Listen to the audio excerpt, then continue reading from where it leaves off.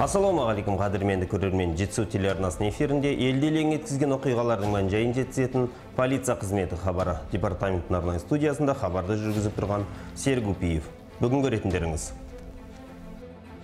Өз үйім өлең төсегім. Тәртіп көп қабатты үйлердің тұрғындарымен бірлесіп бейнебақылау камераларын орнату бойынша пилоттық жобаны іске асыра бастады.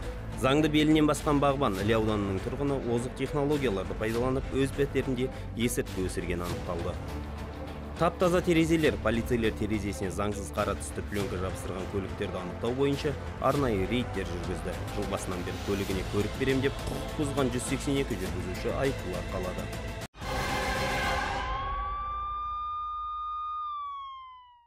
Осы және өзге де жаңалықтар толығырақ келесі топтамада. Талдықорғанда қауіпсіз аулалар пайда болды. Полицейлер пәтер иелерінің кооперативі төрағаларымен бірлесіп, қоғамдық тәртіпті қамтамасыз ету және қылмыстардың алдын алу мақсатында көп қабатты үйлердің тұрғындарымен түсіндіру жұмыстарын жүргізді. Енді ауладағы және кіреберістегі тыныштық пен қауіпсіздік үшін айына небәрі 300 теңге ғана төленеді. Это именно вот по порядку. Первый знаю, подъезд, знаю. вот второй, вот третий, вот четвертый. Это вход, подъезд, вход, Да-да-да-да, подъезд, это вход, подъезд, знаю. вход, подъезд, Ага. каждый. Получается, для того, чтобы пользоваться, просмотреть, допустим, то- вот это вот то, что показывает, это онлайн. То, что вот сейчас происходит на данный момент. Чтобы просмотреть, э, получается, видео, которое происходило вот там сегодня ночью, там, или вот там час назад, пять минут Мгм, назад, мгм. в случае чего, если что-то произошло. Получается, вот нажимаете правую кнопку «Воспроизвести». Вот здесь вылазит, э, получается, календарь. Вот здесь, получается, февраль. Вот вчера мы запустили систему, вот вчерашняя запись есть, и вот сегодня вот до вот трех часов. Жаңа технологиялар мамандары орнатылған камералардың мүмкіндіктері туралы түсіндірді. Бұдан былай аула мен кіреберістегі түсірілген бейне жазба бір ай сақталатын болады. Яғни енді айналада не болғанын, кімнің келіп кеткенін еш қиындықсыз анықтауға болады. По вот этому адресу Назарбаева 68 дробь 78 нами были установлены 8 камер по проекту. назарбаев көшесіндегі осы үйге жоба бойынша 8 камера орнаттық әрі кіреберісте подъезд іші мен есік алды қамтылған даладағы камералар үйдің маңы мен автотұрақты қамтиды енді тағы үш камера орнату жоспарда бар ауланы толық қамтитын боламыз Қауіпсіздік шаралары арзан тұрмайтыны анық. Бір аулаға жарты миллион теңгеден артық сома қажет екен. Ондай қаржыны кез келген пәтер иелерінің кооперативінің қалтасы көтере бермейтіні белгілі. Дегенмен осы салаға машықтанған фирмалардың бірі тұрғындардан ай сайын абоненттік төлемді алу арқылы ғана орнатуға келісім берді. өзіміздің тұрғындармен келісе отырып осы бейнебақылау камерасын қоюды ойластырып соны жасадық. Енді ұрлық ә, тазалық ә, жағдайында чтоб үйде ондай проблемалар болмасын деп. Сол мен ойлаймын осы бейне бақылау камерасын қойғаннан кейін бізде ондай жағдайлар болмайды деп. Бұл облыс орталығындағы жалғыз аула емес, тұрғындардың қалауы бойынша қауіпсіздіктің қосымша құралдарын да орнатуға болады. Яғни келіп кеткен жаяу адам ғана емес, көліктер де бақыланатын болады. Ә, пәтер ұрлығын алдын алу мақсатында қазіргі кезде ә, қауіпсіз аула жобасы бойынша ә, көп қабатты үйлердің аулаларына бейне бақылау камераларын орнату бастадық бұл бұл жоба бойынша біз ең бас ең бірінші ә, қала тұрғындарымен сол көп қабатты үйдің тұрғындарымен кездесу өткізіп сол кісілер сол тұрғындардың белсенді қатысуымен қазіргі таңда бірнеше үйлерге аулаларына бейне камералар орнаттық. Бұл камералар жаңағы пәтер ұрлығы одан да басқа жаңағы ауладағы болатын қылмыстар мен құқық алдын алуда оны ізін суытпай ашуда көп көмек көрсетеді. Бұған дейін біз тәртіп сақшыларының көшедегі бейне бақылауды күшейту жоспары туралы айтқанбыз. Ауладағы бейне бақылау камералары қылмыстарды болдырмауға үлкен көмек етпек.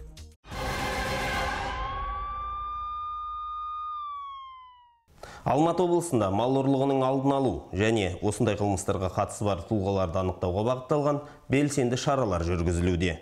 Мал ұрлығы республикалық жедел алдын алу шарасы барысында полицейлер нәтижелі рейдтер жүргізді. Қазіргі уақытта 28 күдікті тұлға мен алты қылмыстық топ өкілдері ұсталды. Тергеу барысында олардың бөтен малды жайылымнан, өзге жерлерден, қоралардан немесе аулалардан ұрлағаны анықталды. Яғни олар өздерінің жымысқы ойларын жүзеге асыруда ешқандай жағдайға қарамағаны белгілі болды. Мал ұрлығын кәсібіне айналдырған кезекті қылмыстық топ жамбыл ауданында құрықталды. Топ құрамында 23-26 жастағы үш жергілікті тұрғын болған. Мал ұрлауға машықтанған үштікке бес мәрте қылмыс жасады деген айып тағылды. Сондай ақ жақында полицейлер барымташылар тобын қолға түсірді. Тергеу барысында үш ауданда орын алған бірқатар жылқы ұрлығына қатысы бар деген күдікке ілінген 11 адам ұсталды. Ұсталғандардың жетеуі топтың негізгі мүшелері яғни ұрлау ұрланған малды тасымалдау солардың міндеті болған. Ал қалған төртеуі қолды болған малды сатып алушылар. Ұсталғандарға 37 ұрланған 8 ұрлық жасады деген айып тағылды. Аталған деректер бойынша қазақстан республикасы қылмыстық кодексінің 188 бабына сәйкес сотқа дейінгі тергеу амалдары жүргізіліп жатыр. Топ мүшелерінің осыған ұқсас өзге де қылмыстарға қатысы бары тексерілуде. Тәртіп сақшылары өз кезегінде облыс тұрғындарын малдарын қараусыз жібермеуге және қораларындағы қауіпсіздік шараларын күшейтуге шақырды.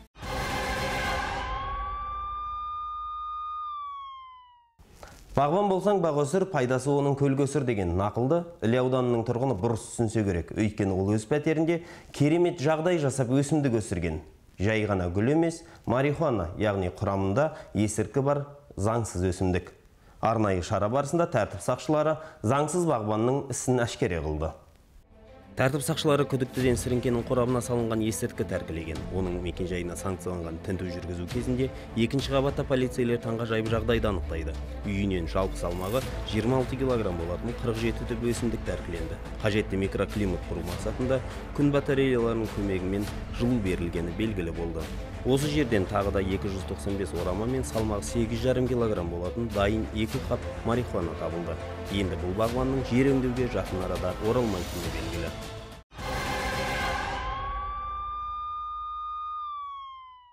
Биыл қолданыстағы заңнамаға өзгертулер енгізіліп талай баптағы жаза күшейтілгені баршаға мәлім. Енді табиғи байлыққа қол сұққандар яғни экологиялық бапты бұзғандар заңсыз балық аң аулағандар 5 жылдан артық темір торға тоғытылуы мүмкін. Тәртіп сақшылары өзге де мүдделі органдармен кездесіп заңсыз балық шаруашылығы мен браконьерлік саласында жауапкершілікті қатаңдату шараларын талқылады. Орман шаруашылығы мен жануарлар әлемі инспекциясының өкілдері 2019 жылдың қорытындыларымен таныстырды.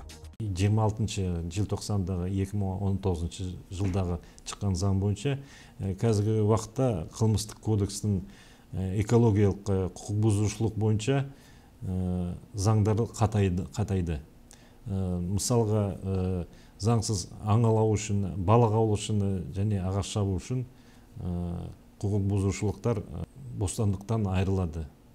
Мысалы үш жылдан бастап 12 жылға дейін.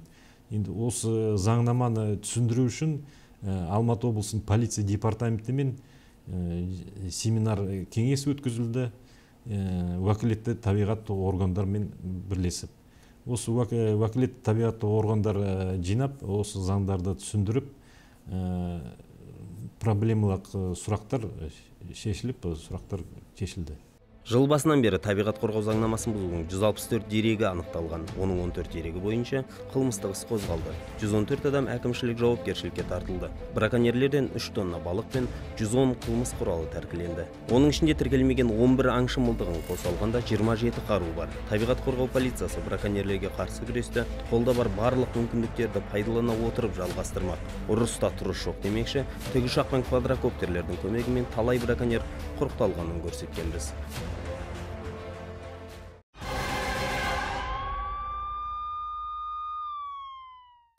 Арзанның сорпасы татымайды. Оңай олжаны көздеген адамдар сақтық пен қорғану шараларын мүлде ұмыт қалдырады сөйтіп айдалада батпан құйрықтың тегін жатпайтынын елемей алаяқтардың құрбаны болады. Осындай 90 адам биыл талдықорған полициясына алаяқтық іс бойынша өтініш білдірген. Аңқау арамза молда деген әртүрлі қитұрқы әрекетпен талай адамды құрбанына айналдырады алаяқтар. Басты уәде оңай ақша мен пайымдаусыз пайда табу аз салып көп табыс алу. Соның бір жолы интернет пирамидасы. Самая простая схема финансовой пирамиды первым участникам.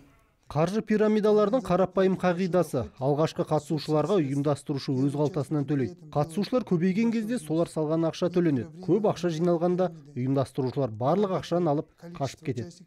Алаяқтар өздерінің жымысқы ойларын іске асыруда түрлі заманауи технологияларды пайдаланады. Ғаламтордағы қызмет интернет дүкен кивиамиян немесе түрлі сауда сайттарындағы хабарландырулар тиісті төлемақыны алғаннан кейін олардың телефондары өшіп ізі суиды. Биыл талдықорғанда жалған хабарландыру беріп пайда көздеген жеті дерек тіркеліп барлығы ашылған. Также мошенники предлагают работ...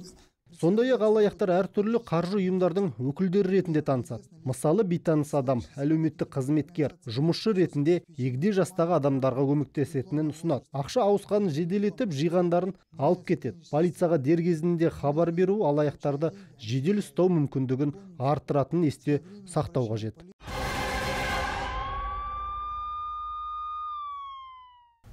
Жол қауіпсіздігі тәртіп сақшыларының күн тәртібінен мүлдем түскен емес. Полицейлер қала көшелері мен күре жолдарда жол жүру ережесін өрескел бұзудың сан мың дерегін күн сайын тіркейді. Құқық бұзушыларға әкімшілік айыппұлдар салынады.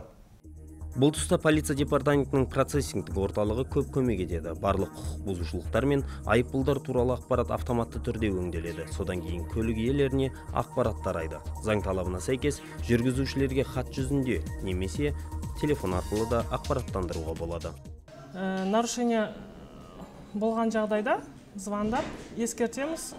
Ә, мысалы күніне 50-60 адамға звондалады. Ол адамға айтамыз «Ос- осындай осындай әкімшілік полиция басқармасына хабарласып тұрмыз деп штрафын айтамыз. Ә, жеті күннің ішінде төлеген жағдай болса полный оплатаны жаңағы толық оплатаны жеті күннің ішінде елу пайызын төлей алады. Олар өз еркі. Бұған дейін құқық бұзушыларды ақпараттандыруға қатысты кешігулер болса енді ол олқылықтың орны толды. Енді жаңа қосылған жүйе бойынша қазпошта қызметі іске қосылды.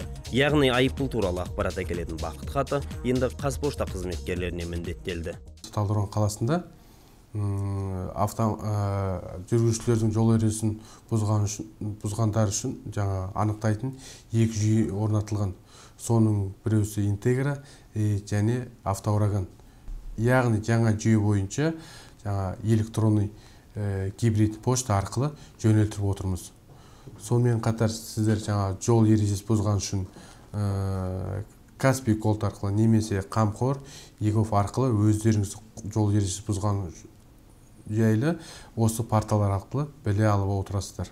Айыппұлды еркімен төлегісі келмесе жеке сот орындаушылары мәжбүрлеп өндіру шарасын қолданады. Осы мақсатта борышкер жедел алдын алу іс шарасы өткізіледі. Ресми ақпаратқа сәйкес жыл басынан бері облыс тұрғындары 121 миллион теңге айыппұл төлеген.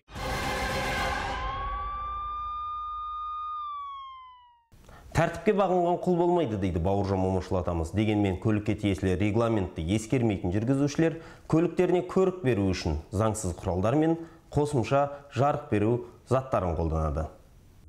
Бұл жолғы рейд терезесін көлегейлеп күннен қорғанатын жүргізушілерге арналды. Заң талабы бойынша жарық өткізбейтін қараңғылағыш пленканы алдыңғы терезелерге жабыстыруға тыйым салынған.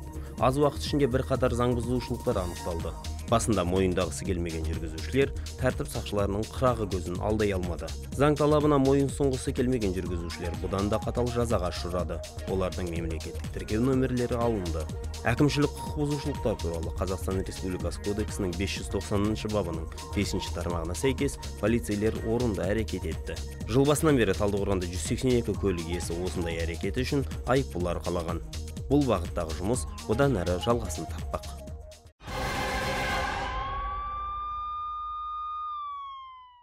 Осымен кезекті бағдарламамыз өз мәресіне жетті. Өздеріңізді толғандырған мәселелер болса экранда көрсетілген электрондық мекенжайға жолдауларыңызға болады. Басымыздың еркіндігі мен амандығын бағалайық. Ертең үлкен өкінішке әкеп соғатын әдет қылықтардан аулақ болайық ағайын.